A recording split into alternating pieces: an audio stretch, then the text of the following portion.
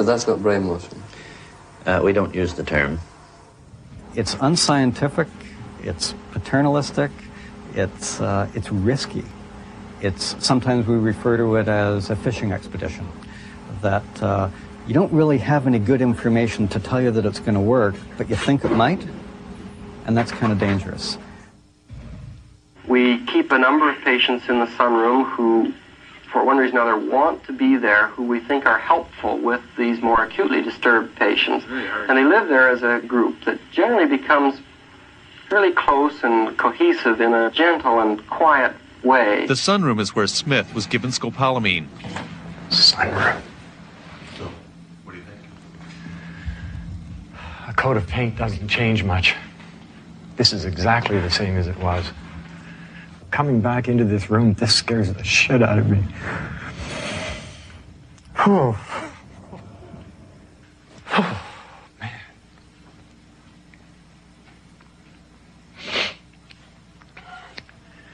When I first came into this room, this is the spot I would have sat, right here. It's so much smaller now. Sat here, scopolamine, and saw some little demon about this big running across this floor towards me over and over and over. Drugs, just constant drugs, constant pressure.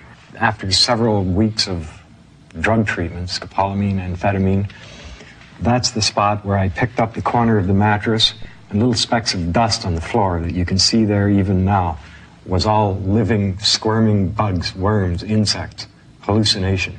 Delirium is uh, kind of a nice descriptive word for it, and that's what it is. Uh, uh, basically, it's uh, combi- it can be any combination of paranoia, fear, delusions. I think it's kind of dangerous. Uh, I think that you're putting the most susceptible population at risk of having worsening dissociations as time goes on. I didn't belong here. This was a mistake. I, I was not Canada's toughest criminal. I, I, I had stolen a car. I was a young hippie.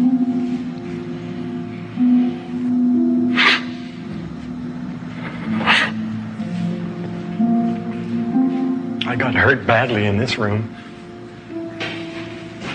I can't talk about that. Smith's visit to Oak Ridge wasn't just frightening memories and empty rooms. Hi, Peter. Some of the patients from the 60s are still here. Smith and this man were handcuffed together for days at a time, therapists for one another. Wow. I'm sorry I walked past you and didn't. No, that's okay. I, I wouldn't have recognized you. I didn't recognize You wouldn't have recognized me neither. How you doing? years. 30 years. Imagine that. Excuse me. Yeah. Come on in. He is Mike Krueger. He changed his name from Peter Woodcock.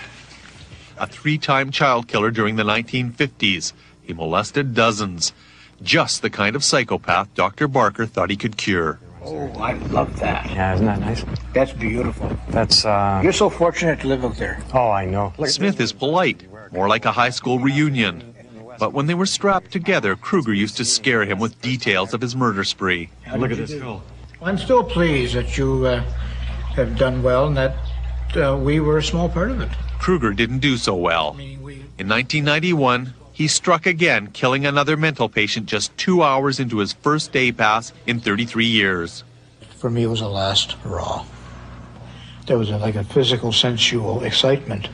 I was the one who uh, pulled down the charges to make it look like a sex crime. But Why- it was not a sex crime, Why would why did you do that? just to confuse the authorities. And what did you do to make it look like a sex crime? I stabbed him in uh, various rather personal parts of the anatomy. I'm very uncomfortable about this part of it. For years, it had been taken on faith that the Oak Ridge experiment did some good. What we found was the hurtling.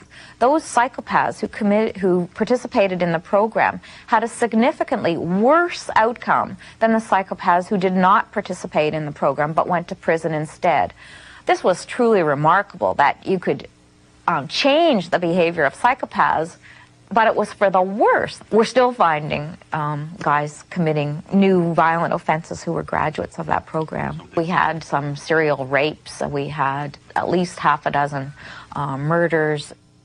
What would happen to a doctor that tried to do this today?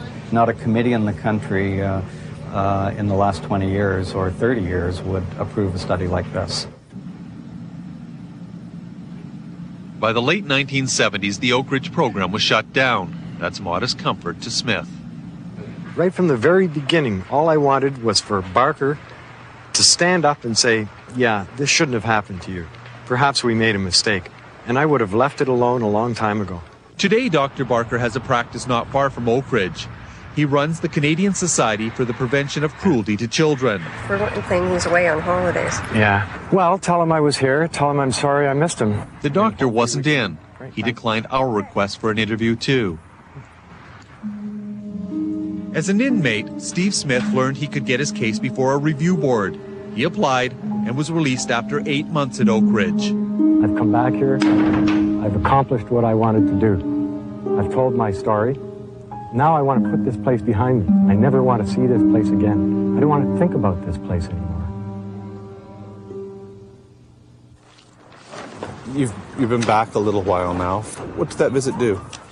Oak Ridge isn't as big a thing to me as it used to be. It's not as frightening. And it's, it's not, it's not a, a deep, dark secret that I, have to, that I have to hold anymore.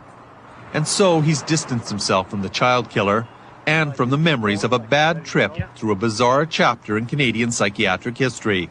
Walking through those bars, having the doors closed behind me, it was frightening, and at the same time, it was cathartic, I suppose, because they, they treated me well. They treated me with some respect, and I was able to walk out the door as a free man.